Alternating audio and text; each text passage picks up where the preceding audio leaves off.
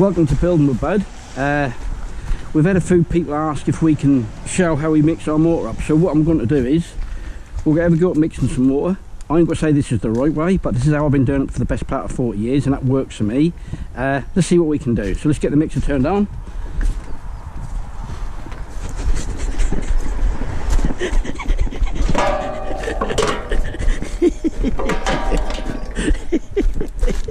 oh, all this while I still on. There we go. Right. Right, the key to this, what people do most is, they make it too wet. And you want nice clean water, get a little water in there, and we can add as we go. And then you want, well want to use some Feb mix, but this is concentrate. I find that better than the old style uh, uh, Feb mix, so we'll give it a little bit of that. I'm going to use about 15 on there, push that in there. We just let that have a little mix. See where we go. Right. Okay, what I'm going to do first is I'll get some sand in. So one, two, three. Just tip the bucket up. And another thing what people make mistake is when they get sand, they get a shovel of sand like that, then I'll get a shovel of cement like that. That's no good. So what you got to have is you got to have equal cement so your shovels the sand like so it's got to be if that's like that there the same cement so when I put another three in and I'm making this five one a ratio of five sand one cement. We'll put another big cement in. Get that like that. One.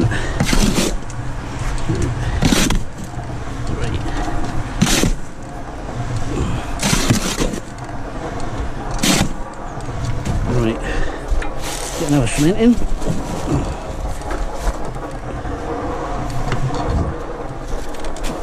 So we're now got approximately 15 in there. Now you can see at the minute that looks like it needs a load of water. But what we'll do is we'll just give it the smallest amount. And then we'll tip it and just let that mix itself first.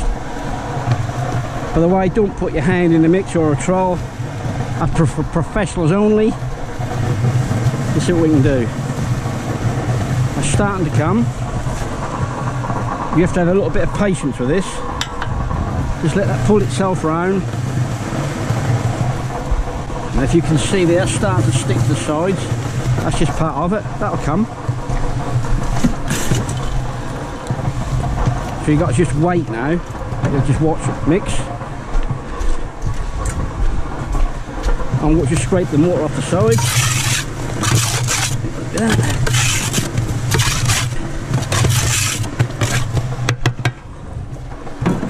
So now we can see us starting to come look. Are starting to get the consistency we want.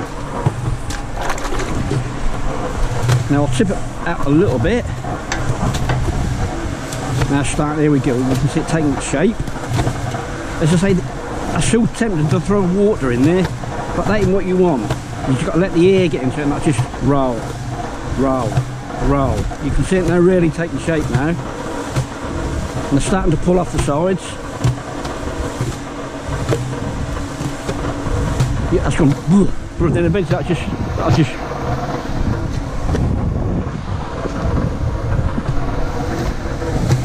That's starting to come now. I'll just get my trowel on it, see what I like. That's getting there. So the key is not too much water, get an equal amount of sand to cement ratio, and just let it mix, let the mixer do its stuff. That's why it's called a mixer. Now that's looking good. Today we'll get Big G on the old uh, trowel. So we'll have some nice mortar. He's learned to mix, been learning to mix up as well, as we'll see later. Now that's somewhere in there. Just get my trowel and try that. And remember, don't put your hand in the mixer like me. I can see that's there. Right, we'll just let that pause. I've got to tip some out now. The big G video will be separate. Right, I'm going to get a wheelbarrow now. We can have some of this out. So get rid of that. That over there. There. Just give that a little rinse. I always just wash the bar out. Make sure nothing sticks to it.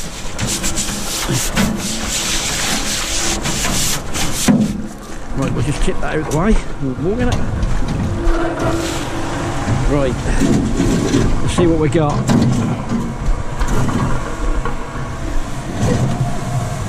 Yeah, that looks really good. That's not wet wet.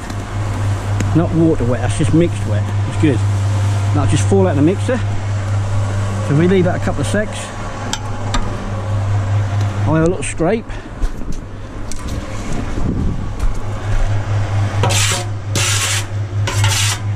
There's a little bit at the back if that'll come out. Yeah, that's looking good that. I'm really happy with that.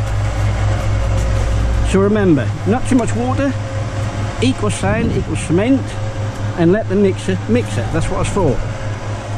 So we'll just get a look in the, in the bowl.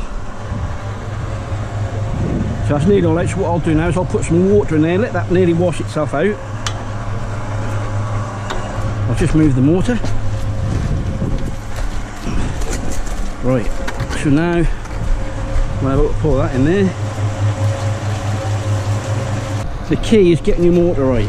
If you start wrong, you've got no chance. That's hard enough as it is.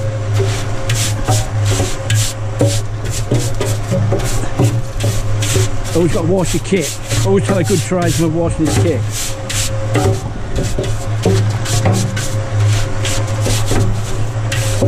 So we'll let that turn around on its own for a few minutes and then we can leave it.